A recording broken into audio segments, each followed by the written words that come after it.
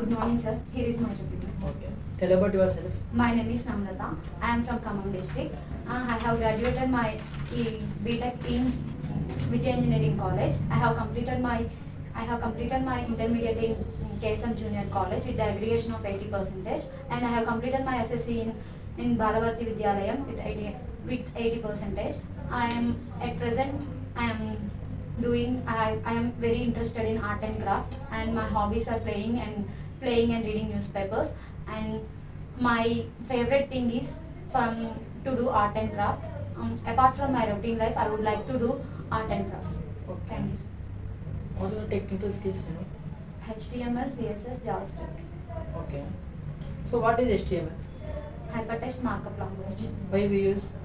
uh, it is used for to display the content on the web page Okay. So what are the different types of list in HTML? ordered unordered and description So in order list, what are the types? in ordered list it will display them like numbers uh, numbers and roman numbers etc. Okay. In order list? Non order list? unordered list it will display like stars and uh, some without the numbers and without the roman numbers it will display some. Okay.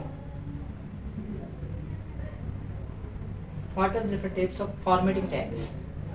uh, formatting tags are italic bold Hmm. um, sub superscript subscript and small small um, etc What is CSS? cascading style sheet So there are different types of style sheets, right? yes What are there? um, Advantages of CSS? it is used for bandwidth and uh, uh, etc sir. Okay. What is properties used to for changing the font size?